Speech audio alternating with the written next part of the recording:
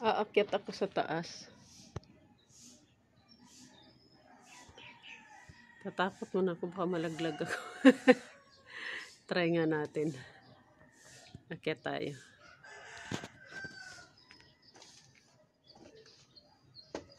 Okay. Oops! Hindi kaya ma... Ano tong kahoy?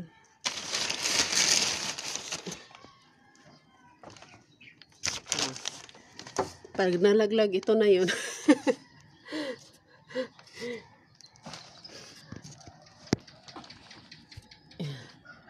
Ay!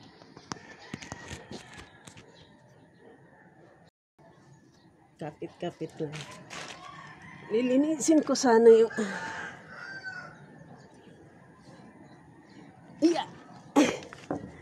Uy, natuyo na nga. Balak ko. Linisan ko to. Kaya lang natuyo na pala, oh. Wala na pala. Wala na palang tubig. Last time na pinakita ko to sa inyo. May tubig to, eh, punong-puno. Ngayon na wala na, sobrang init. Natuyuan na pala.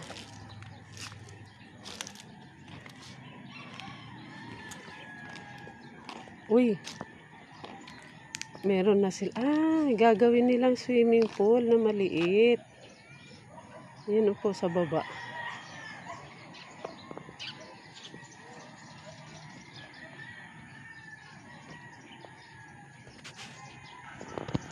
Yun.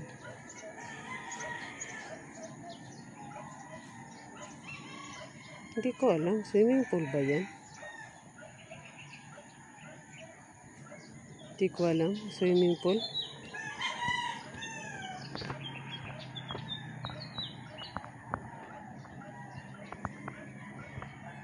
Sa likod po ng bahay namin yun. Malawak. Hindi na rin ata naasikaso ng mayari. Uy, puro dahon na itong aking taas. Ang bala ko, kung sakaling, kasi, kasi wala man talaga kaming pampagawa pa, maglalagay ako dito ng ah, kubo-kubo sa taas. Tapos, yung kasama ko, mahilig sa halaman. Magtanim na lang siya ng mga halaman. Tapos, lalagay siya ng kubo dito. Dito niya ilalagay. Kasi wala na kami space sa taas, ay sa baba eh. Bali, itong lahat ng lote, 100 square meter. Inubos ko yan pag ano, pagbahay. So, mangyari, wala kami space sa baba. Excuse.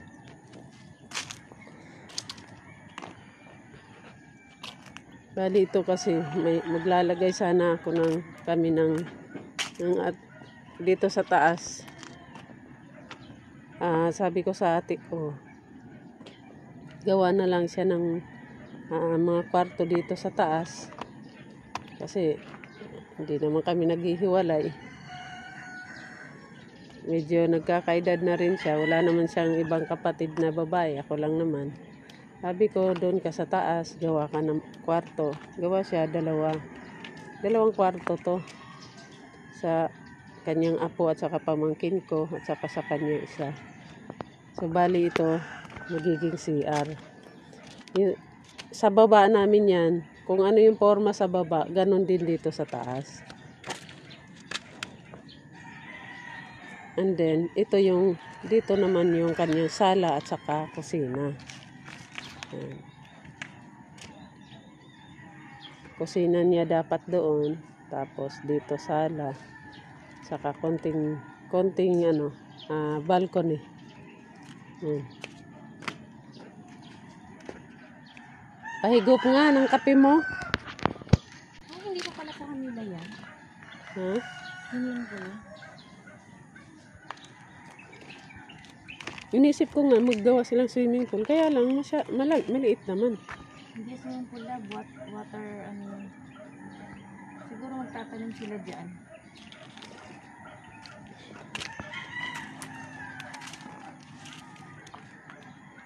So, bali. Mm. Pag di wala pa kaming pampagawa nito, wala naman talaga. Ako nga, bala, Buti pa yung kapitbahay ko, malinis-linis na. Ayan o. Kaya lang,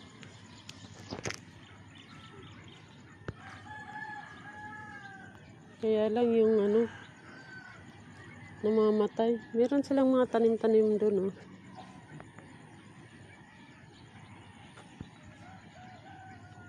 Ayun ang mga tanim niya. Kaya lang nagganda patay-patay.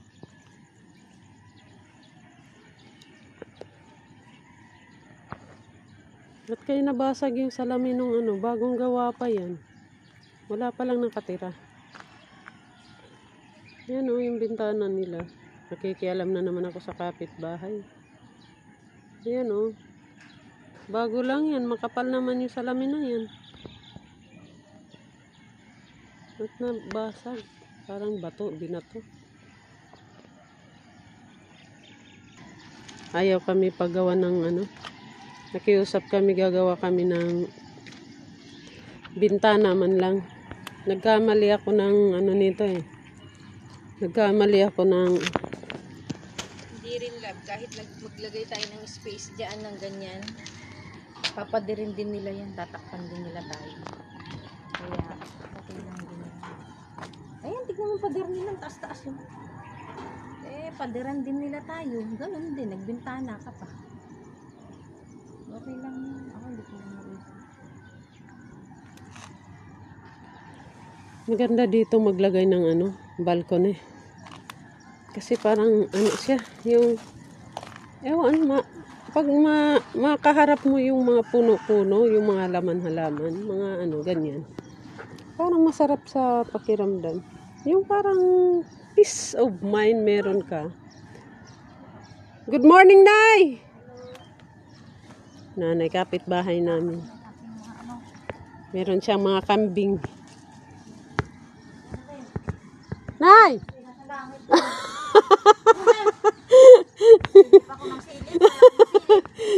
Sumilip si Nana dun sa baba. Nasa langit. Nasa langit po. Sa langit daw kami. Maganda. Dito kasi itong... Oo nga eh. Kaya lang wala tayong pang ano na. Ito space ng ate ko. Sa bali itong balcony niya. Malaki-laki naman yung kwarto niya eh. Siya lang naman mag-isa. so yung balcony din niya medyo malawak-lawak eh. Ayan. Hindi maganda yung sukat namin eh. Yung sukat namin, oh, tingnan niyo po. Pag ganun, tapos pag ganun, wala. Kaya yung sukat ng bahay namin iba. Parang patabingi na pa. hindi siya 100. Ano, hindi siya quad, ano, kwadrado. Ang tawag nun? Square. Hindi talaga siya ano. Patabingi yung pagkaano niya, tingnan mo. Dito sa pa, pag ganyan. Pag ganun. Tapos yung kapitbahay ko, pag ganun. Wala. Ang, ang siniguro ko na lang na ayusin, itong kwarto namin. Iniskwala talaga eh.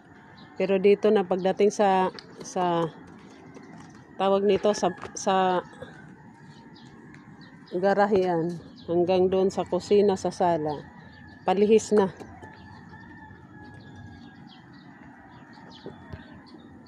Kumbaga, kinuha ko na lang lahat ng space doon sa kusina.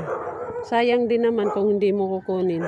Wala namang, walang mga paggagamitan, kaya kinuha ko na lahat.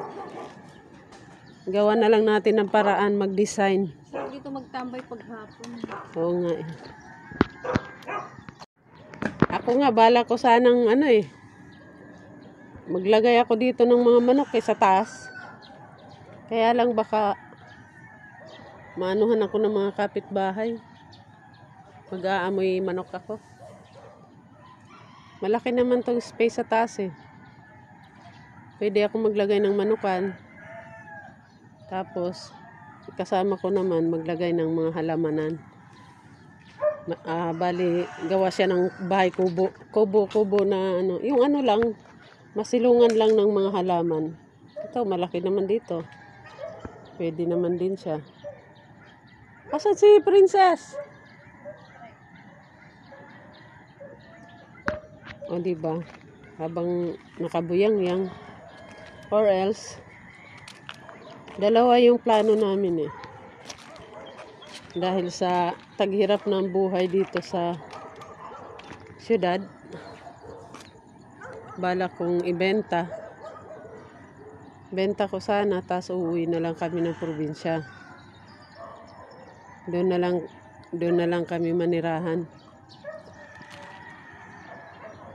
Doon sa probinsya, masipag ka lang. Lulusong ka lang ng dagat. Magkakaulam ka na. Sanay naman tayo sa dagat eh. Tapos, sa probinsya, basta masipag ka lang kahit wala kang lupa, makikiusap ka lang sa mga may lupa, pwede ka magtanim doon ng mga gulay, kamote, ganyan. Ay dito kasi, lahat ng mga space ng lupa, may may-ari. Wala kang dagat. Wala kang mapagkuhanan ng kahit man lang ulam. 'Di ba? Lahat binibili.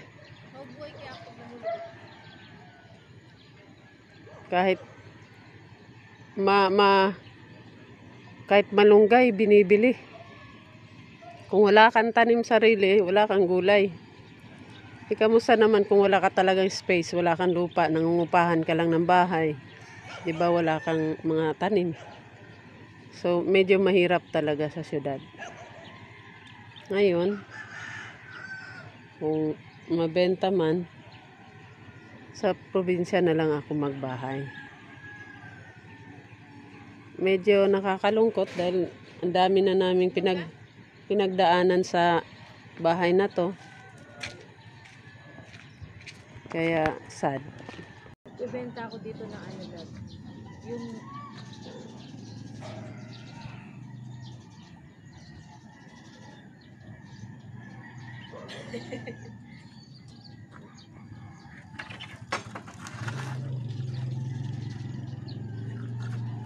Tapon ko na lang kaya ito. saan kaso? Doon. Para masunog na. Ay!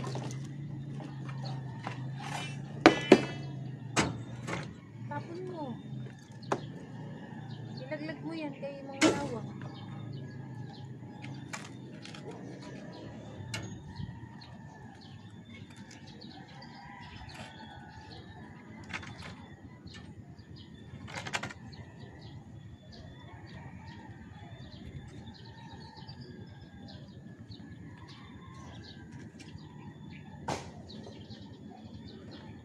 Sino ha? Ayusin mo nga. Ako ilang beses ako nadapa dito sa mga to.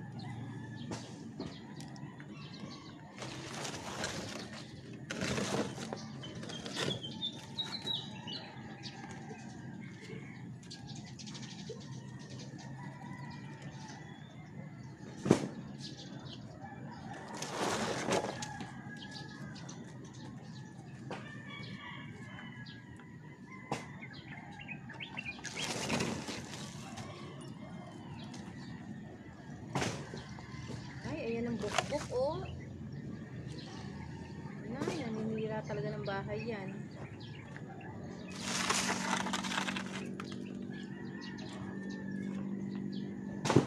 Dami pa dito.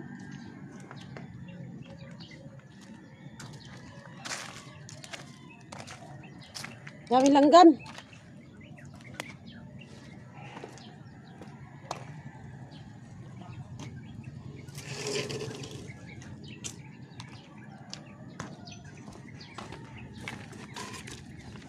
Magbeben, magtitinda tayo dyan, love. Tapos magtinda ako ng ano. Yung ukay-ukay ng mga damit. Diba maraming mga tandos. Hmm.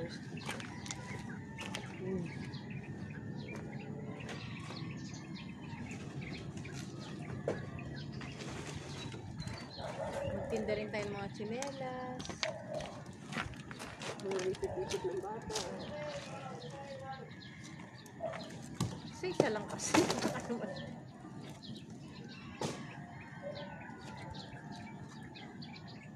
Sophia, kunin mo nga yung walis. Sophia, kunin mo yung walis. Dali, magwalis ako dito. Ito yung naalala ko.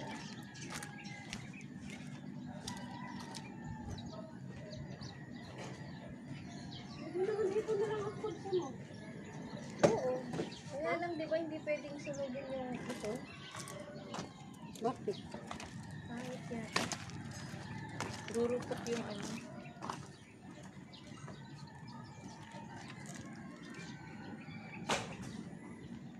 Sunugin natin, sunugin.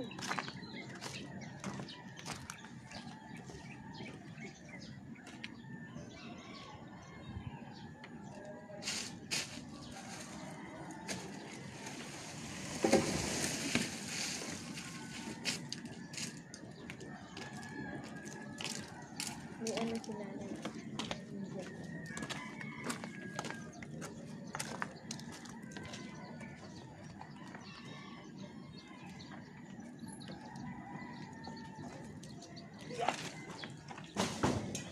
Tignan mo si nanay ha. Nandiyan si nanay. Boy, tingin ka boy, ah, baka may pako ha. Huwag kang umapak sa ka, ano, kahoy.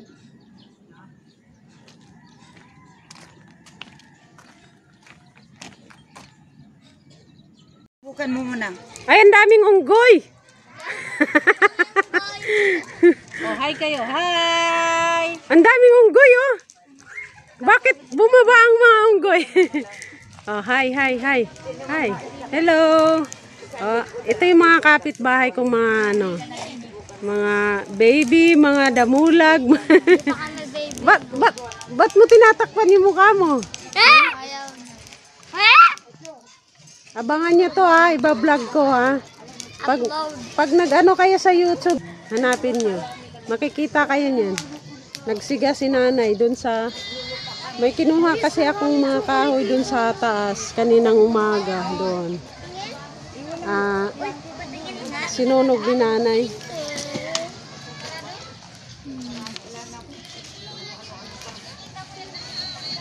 Nay, bakit ka nakiki nakikikapit bahay? Hindi talaga pagkakit. An- Akala ko pati kapit bahay mo lilinisan mo. Nangunguha pala ng ano. Medyo madilim na. Anong oras na? Anong oras na? Six- 6.03. Pero parang okay pa, no? Maliwanag pa. Medyo madilim-dilim na. 6.03 pa daw. Yan si nanay, sobrang linis. Pati kapitbahay, lilinisan niya. yung kalat ko, siya yung nagano. Siya yung nagsiga. siya yung nagsunog. Pero hindi ko pa nagawa ang aking trabaho. Ayan. Dami pang damo. Marami pang damo. Napagod na ako kasi nagtambak ako medyo ma medyo mabigat kasi yung ginawa ko masakit na yung likod ko kaya bukas naman Yan akong hindi bibiro ang pagkatanggapan ba.